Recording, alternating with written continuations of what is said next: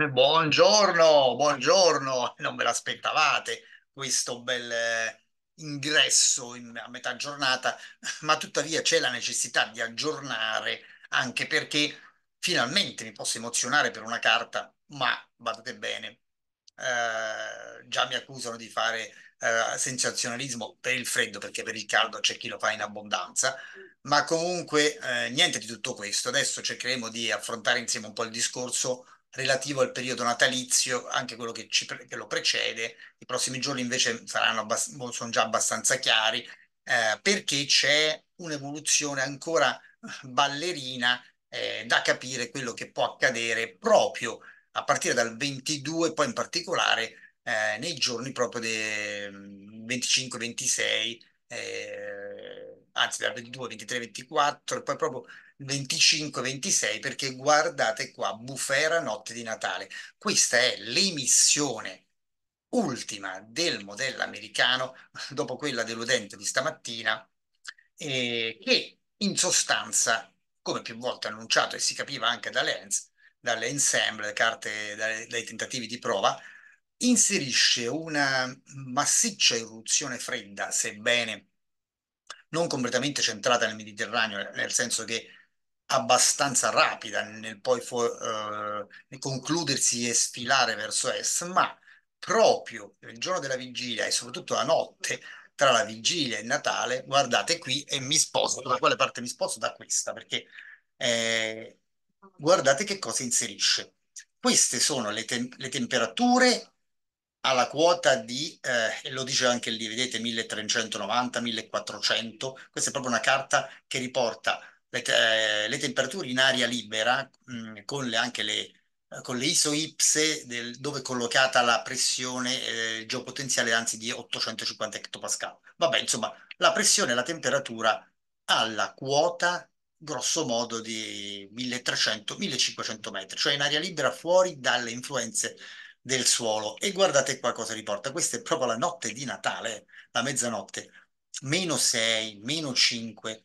eh, e la, la quota neve conseguente perché eh, 100-200 metri, eh, se fosse, se si realizzasse questa carta, eh, perché ora vedremo quali probabilità, e l'ho scritto qua, vedete, quali probabilità ci sono realmente che avvenga questa questo tipo di peggioramento, con un minimo che scende lungo la penisola, eh, alimentato da aria proveniente appunto da oltre il circolo polare artico, e guardate come svetta questo meno 40, perché? Poco più a nord qui, per ragioni diciamo grafiche non l'ho potuto inserire, addirittura entra la notte di Natale secondo questa emissione, che mi diverto a commentare, ripeto, poi ora valuteremo le probabilità, una meno 40 a uh, 500 hectopascal, cioè che con questi valori di pressione, diciamo, in questa configurazione, è collocata intorno a 5200-5300 metri di quota, meno 40. È un valore che raramente, molto raramente si vede in Italia. Infatti, probabilmente non arriverà, ma comunque in Alta Adriatico, con queste condizioni, io ho messo queste quote, ma eh, diciamo nelle regioni, l'Appennino centrale, settentrionale, in, con rovesci può arrivare tranquillamente al, uh, a livello del mare, anzi la neve, con queste temperature che rappresentate di, da questa emissione. È un impulso artico in cui il freddo è presente soprattutto in quota, ma poi c'è anche il grecale che fa entrare questi valori meno 5, meno 6, che sono anche molto freddi nei bassi strati, e poi tutto questo scende giù proprio il giorno di Natale al sud.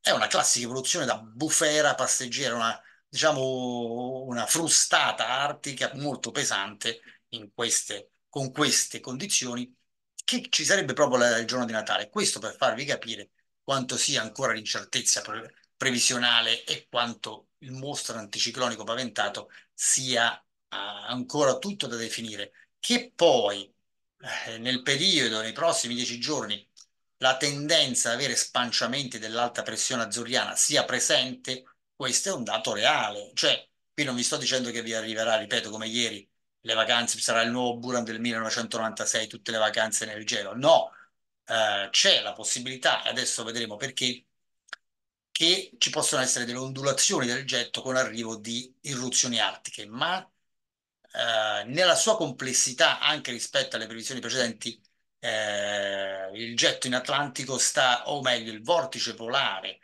abbastanza compatto, in parte secondo me anche per un riscaldamento che, che sta avvenendo nel media-bassa troposfera, ma comunque in troposfera abbiamo un vortice polare abbastanza che si compatta e che spinge molto eh, il getto polare a, e schiaccia l'alta pressione che è costretta spesso, quella delle Azzorre, a spingersi verso di noi nonostante i massimi pressori siano in Atlantico. Ora vi spiego tutto. Intanto ve la siete vista, guardate, questa è proprio per la notte di Natale, ultima emissione modello americano.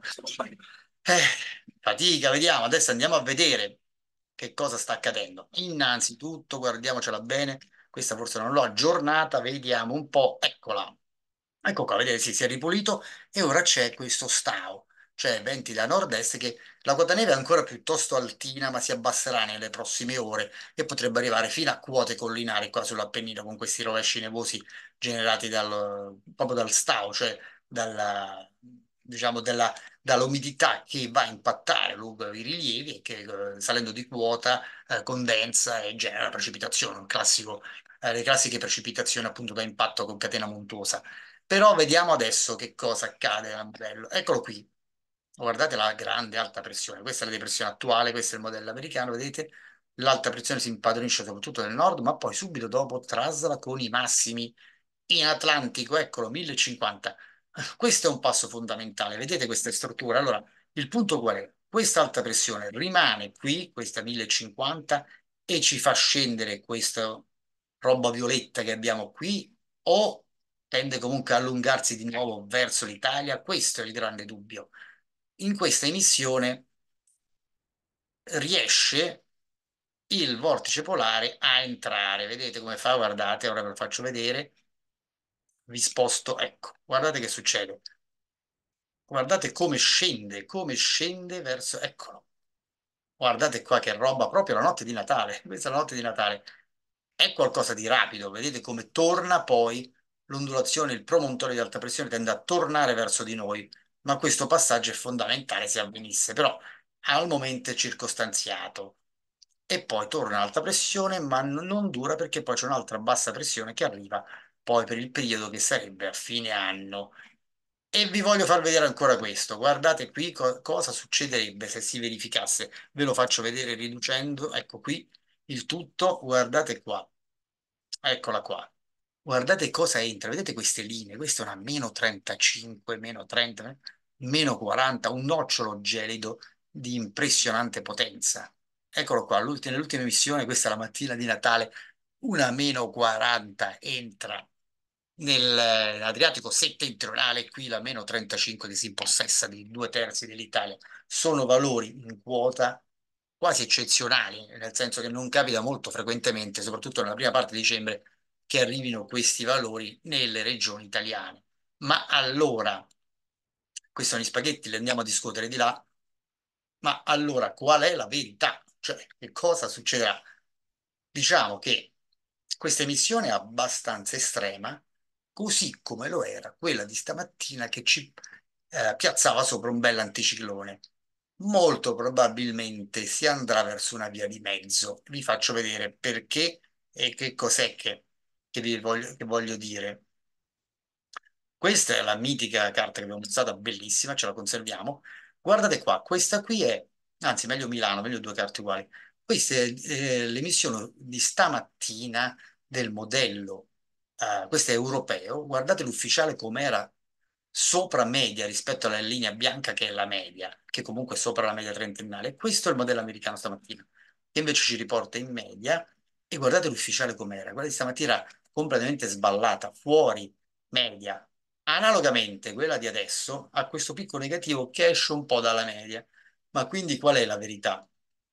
Forse nessuna delle due. La linea bianca, secondo il modello americano, dovrebbe essere la, la realtà. E quindi, la, diciamo, l'ipotesi più probabile è una via di mezzo, che vi faccio capire. Quindi, la, anziché, ci sono tre possibilità. L'anticiclone ehm, si impossessa di tutta questa zona e i peggioramenti tutti al nord. Circolazione zonale, freddo a nord, alta pressione calda al sud. Circolazione meridiana completa, cioè lungo i, eh, lungo i meridiani appunto, scende giù aria fredda dall'Artico direttamente, si impossessa completamente al Mediterraneo, l'alta pressione rimane confinata dietro la mia testa, a sinistra, in Atlantico. Via di mezzo, circolazione nord-occidentale, cioè da dove sono io, scende giù verso, eh, verso sud-est, variabilità, venti abbastanza sostenuti, rovesci, qualche nevicata di, in transito. Potrebbe essere questa la soluzione, però questa che vedete dietro di me è assolutamente contemplata con, con un anticiclone di quella portata in Atlantico, basta una piccola ondulazione che lo sconto fra titani di cui ho parlato in precedenza ci butta addosso tutta questa roba. E questa anzi ci prende di striscio, se potrebbe essere anche ancora più centrata. Però, eh, proprio perché facciamo un'informazione corretta, questa, questa forse non è la più probabile. Ma non è nemmeno l'anticiclone pieno, il mostro, ripeto. Probabilmente ci saranno delle ondulazioni un po' meno marcate, quindi transiti di perturbazioni proprio a partire dal 22 che abbastanza sfuggenti in un clima non, non particolarmente rigido, eh, in media, forse leggermente sopra media, eh, o comunque che va, ehm, diciamo, eh, in un range attorno alla media. Prima della perturbazione un po' più caldo, poi un po' più freddo, qualche rovescio. Probabilmente Natale sarà questa, una certa variabilità, non anticiclonico. Ma intanto, questa è l'ipotesi ufficiale del modello americano ultima emissione. Quindi noi adesso abbiamo, abbiamo questa, la, vedremo come proseguirà e, e, quindi, e quindi mi metto qui perché ve lo dico bene, non perdete i prossimi aggiornamenti, sareste dei pazzi perché a questo punto la cosa si fa molto interessante. Tra l'altro il periodo deputato ad avere eventualmente questa, questo peggioramento è proprio eh, quello del 24-25. Poi mh, mm, ne discuteremo dopo, si affacciano delle ipotesi interessanti poi per il prosieguo di gennaio, perché il vortice polare viene visto dal modello europeo soprattutto molto in stratosfera, in, in quota, molto uh, piuttosto debole, debole.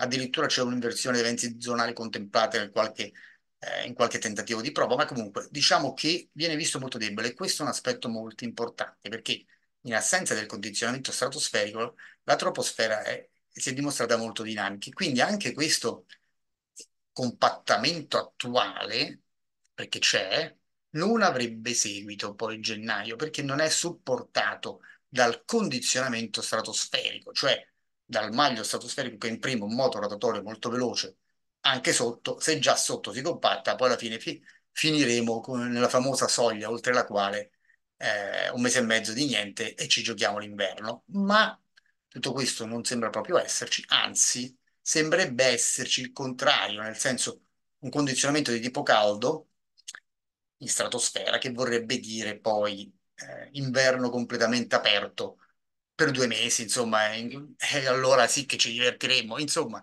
continuate a seguire, iscrivetevi, mo me lo merito, al canale YouTube, il bonus grazie e me li sto meritando pure, direi, e abbonatevi a Instagram e YouTube perché tutti questi argomenti ne discuteremo in privato, bene, approfondendo tutto quello che possiamo, anche qui ovviamente sono dettagliatissimo, ma ripeto, con 250.000 persone su Instagram e 15.000 su YouTube, io oh, tu, non posso rispondere necessariamente a tutti quelli che intervengono, ci, ci provo. Eh, quindi per fare una discussione anche più approfondita bisogna creare dei, dei, dei, dei, circoli, chiamate come volete, con la chat WhatsApp per esempio per abbonati, riusciamo a approfondire tutti questi argomenti. Un abbraccio a tutti, siete tantissimi, siete veramente fantastici, anche quelli che criticano, ma sì, ma lasciamoli fare, tanto poi alla fine non mi sembra che stiamo andando fuori dal seminato, quindi va tutto bene, seguite Meteoscienza, ciao ciao ciao ciao.